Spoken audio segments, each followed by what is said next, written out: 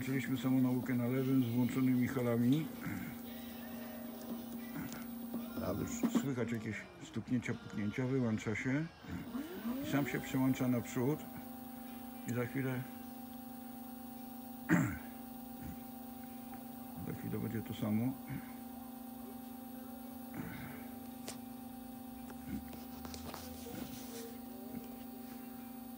No na razie nie chcę. No dobra, to rozepnijmy tą samą naukę.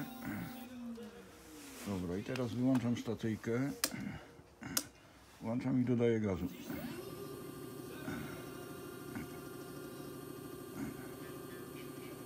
I wychodzi.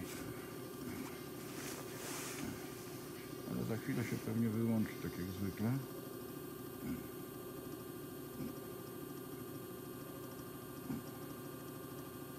Któremu się nie chce. O, już zaczyna pukać. pukać. Znowu. Już się wyłączył. Teraz muszę odpuścić manetkę. W międzyczasie przednie koło cały czas pracuje.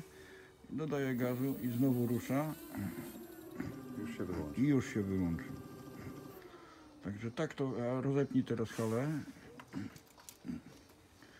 Zobaczymy, czy nam ruszy. Z rozpiętymi halami rusza, czyli przeszedł w tryb bezczujnikowy. No i teraz jest ok.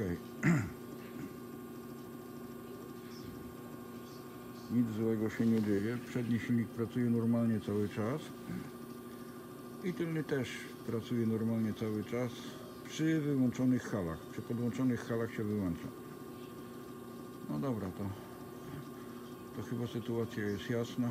No prawy silnik, znaczy lewy silnik oczywiście w ogóle nie, nie startuje po samonauce ani w trybie z halami, ani bez hali. Ten pracuje, ale tylko w trybie bezhalowym. I to by było na tyle. Dzięki na razie.